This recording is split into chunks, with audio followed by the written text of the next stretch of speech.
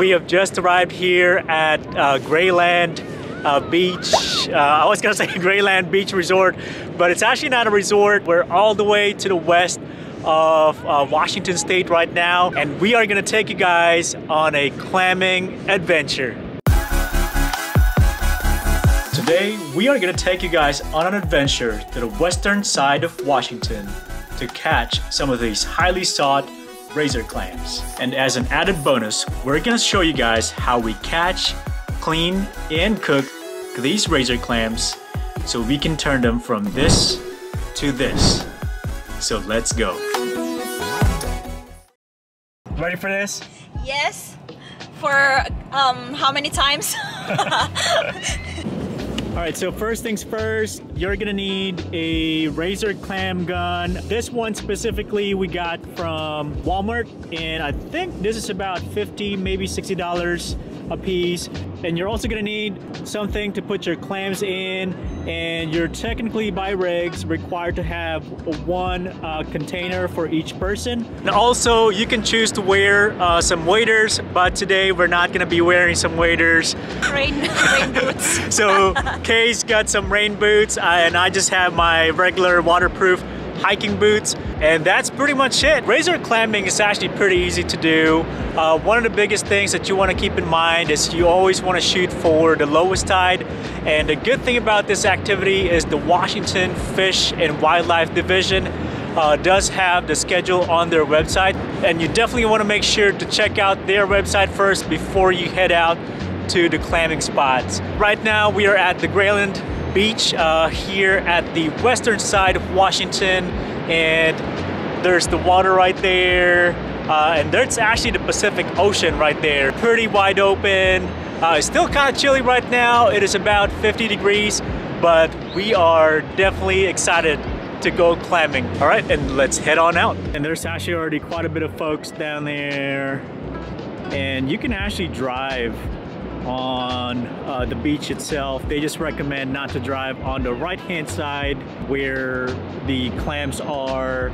There's a bunch of folks down there and then on the right hand side where the water is, uh, there's not so many folks uh, parked and there's a couple of folks uh, down there already clamming.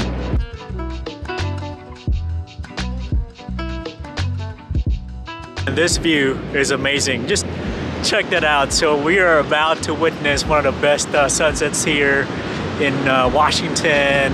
The sun's getting ready to set right now. I don't know why there's not a whole lot of folks uh, clamming right in this area, but this green stuff right here, and I know it's kind of hard to see from the camera, is pretty much what the clams like to eat. So we are right here standing on a bed of pretty much what they eat. So if I'm not mistaken, there should be a lot of razor clams around this area.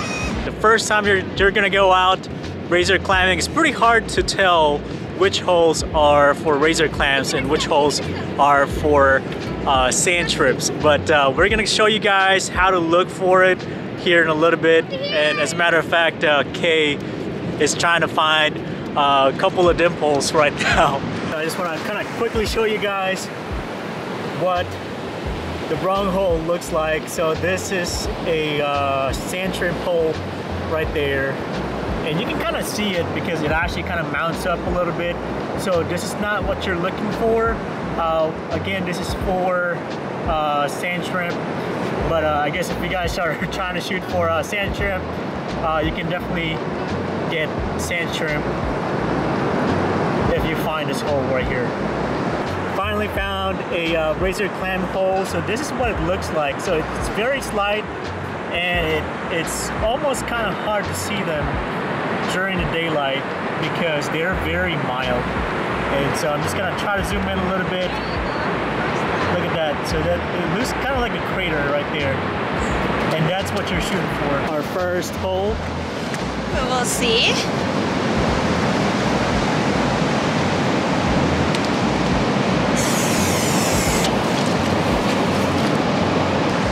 Uh, just finally got her first clam. And now That's a razor one. clam. And now she's gonna go ahead and try to dig this one hole right there. And this clam gun is actually pretty easy to use. Uh, a lot of people, what they try to do is they, they try to dig straight down. All you need to do really is let gravity work for you. And so you just need to kind of shake it while you're pushing it down a little bit and then pull up. And typically around these areas, by the time you dig about maybe two times, three times almost, you'll typically see the uh, razor clam.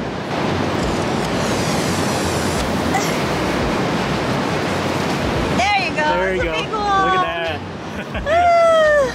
Nice. Second clam. razor clam. All right, so we're razor clam number two on to number three. Okay, just found another one. Here's another look of what the hole should look like. So once again, it's a very mild um, dimple on the sand. Let's check it. Let's see how big this is. There's water. No.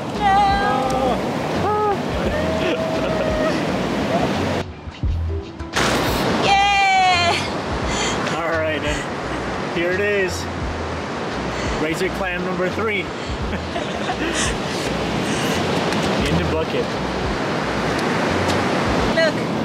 Another one. Ooh, look at that. So there's another one right there. It's a little bit of different uh, hole right there.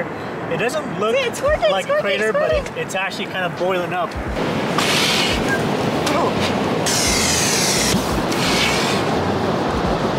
And pull. Ah! So Kaye just found another hole. Hey, you. Like I said, uh, you just want to kind of go ahead and uh, let gravity work for you kind of just kind of shake the handle and then pull up with your leg. Definitely not with your back. About uh, maybe two or three digs should be able to.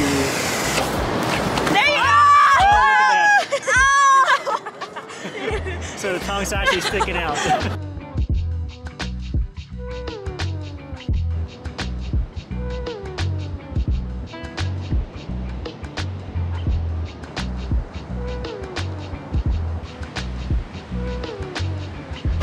a lot of times too, what you can do is you can is you can kind of stomp the ground with your uh, razor clam gun, or you can also use your feet as well. Okay, just hit the ground with the uh, razor clam gun, and she just found a couple of holes show up. Kind of stomp your feet like that. Try to see if you can see some holes show up, or dimples rather.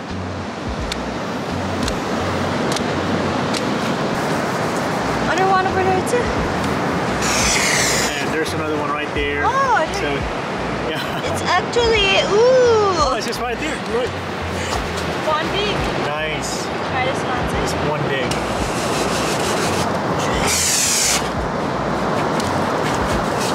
It's actually this one too. Oh wow. So just about one dig oh, each. Yeah, wow, that's actually a pretty good size right there, look. That's awesome. Look at that. In the bucket. Okay, he's gonna try to hit the uh, the ground, see if it shows up. Oh wait, so there you go. There's a small hole right there. I'm gonna, I'm gonna hit it. All right, hit the ground. What's it? There you go. Ooh, there you go. See it? You can kind of see it boil. Look at that. So, so far, uh, Kaye's got five razor clams, but man, just check out that view. Such a nice view. The sun's about to come down. There's actually not too bad of a crowd right here uh, right now. So there's a bunch of uh, folks down there, and there's also quite a bit of folks uh, behind me as well. All right, so definitely a rookie mistake coming here with just uh, regular boots because this water keeps coming back obviously because we're in the ocean good thing is Kaye's wearing her boots so she can kind of kind of stay in the water for a little bit well so it finally happened my boots are wet And I'm not talking about the outside, the inside, so.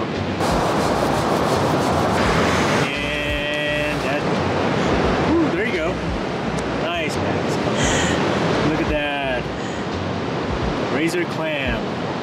Oh, check this out. So this is definitely a razor clam right there. That's a big crater. Thank you for do going it. There, There it is. oh, the big one. Ooh, that's big one right there. And Ooh, There you go. look at that. some of them. Let's do this first. Let's see. Oh, there, you go. Oh, Look at that. come on, buddy. Sticking Stop. out. Oh, he's coming back in. That's. I don't know. Razor clam. He's going back in. No. Oh, Squirting. no. Oh. Squirting. Pull him out. One, It's right there. two.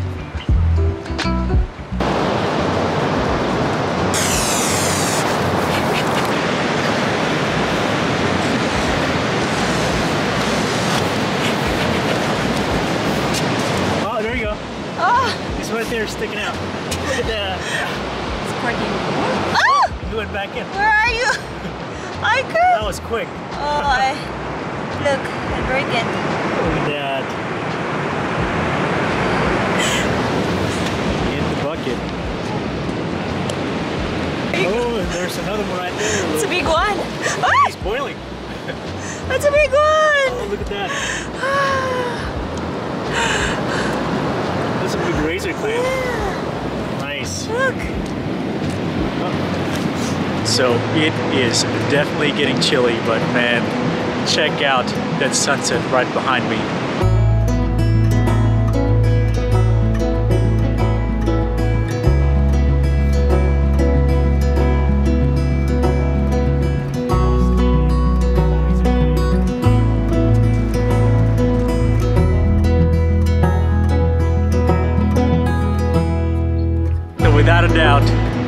This is one of the best sunsets we've ever seen.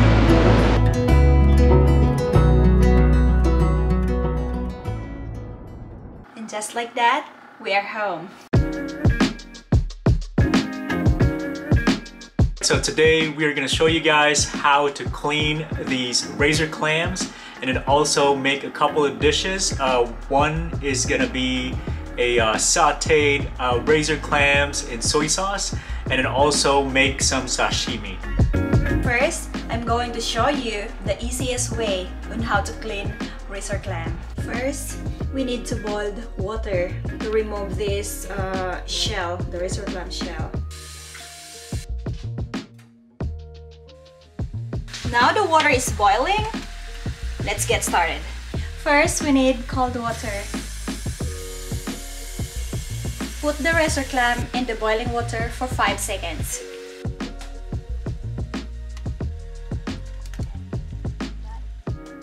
As you can see, the razor clam shell came off quickly.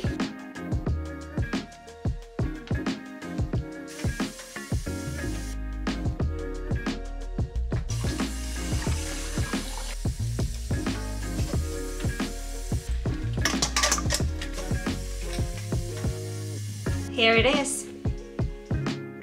Now we're gonna need scissors to clean the clam properly. This is probably the most uh, challenging part of all this is cleaning the razor clams. You're gonna cut to the outside all the way to the neck. And there are two holes in there. You need to cut them both. Just like that. And here you go. As you can see, there's a lot of sand inside the neck. Look.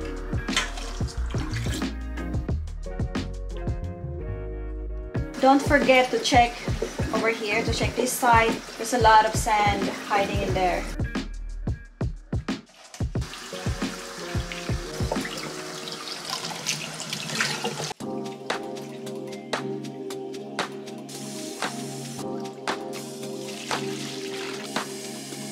Done cleaning, it's time to slice the ingredients.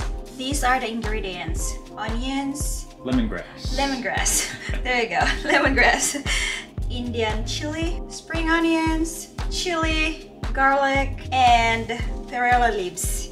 It's only an optional ingredients. You can also use what basil, right? Yeah, you can also use um, basil. It does bring out a lot of flavors. Yeah. Lemongrass smells so good. Mm -hmm.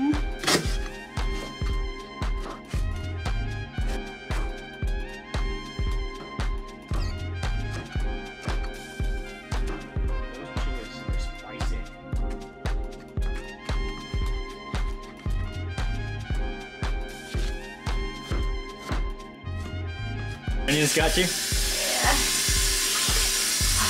Don't cry, don't cry. I'm going to cut for the sashimi first. Remove this first. So you can use it for the saute later. Remove this one. Cut it like that.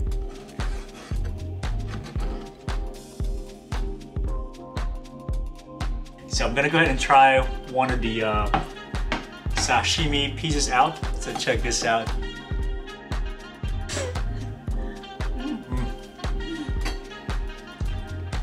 Let me tell you, this thing, it's uh, naturally salted, very clean tasting. I like it. And typically you want to use a little bit of soy sauce. Uh, you can even use a little bit of lime. It's definitely up to you. This sashimi is looking very good. This is for the saute razor clam.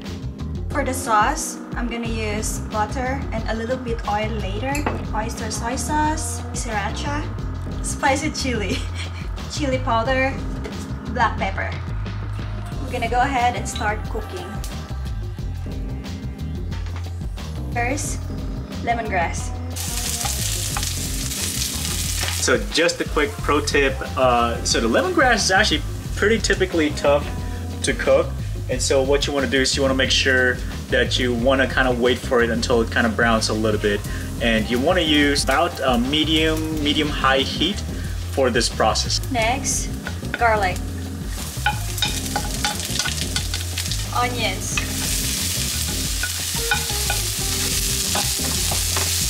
Gonna add butter.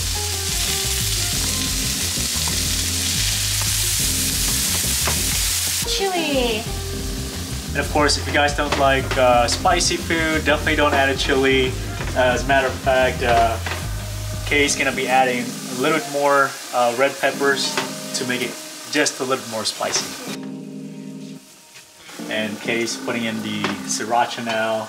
And I'm hoping that you guys can smell this, but it's smelling very good right now. Very aromatic. This is optional if you want um, a little bit sweet.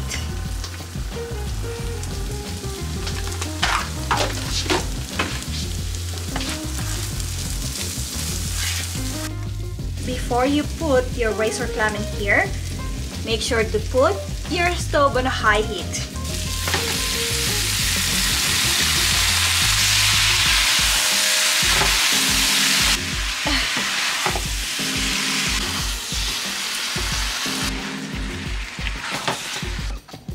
Last but not the least ingredients, perilla and spring onions.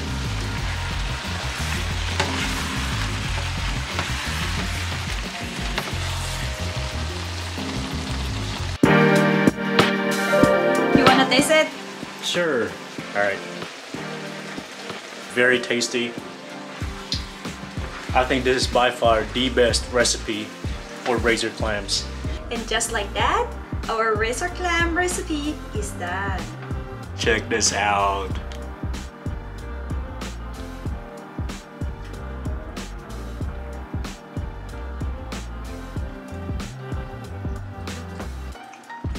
It's really good. Very tasty. Very tasty. Highly recommended.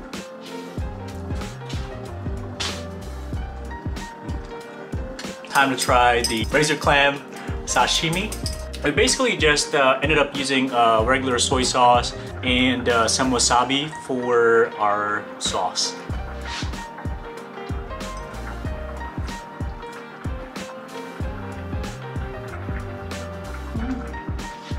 Right. Really good.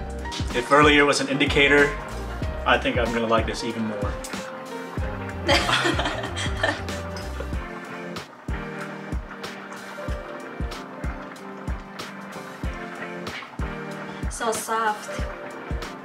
Very clean tasting. It's got a very interesting texture, but if you like sashimi, I think you're gonna like this. One more bite. Oh, that wasabi got me. So that is the end of our catch, clean, and cook video for today. Please click the thumbs up button to like the video. Consider subscribing if you like content like this. Thanks again for watching, and we'll see you in the next one.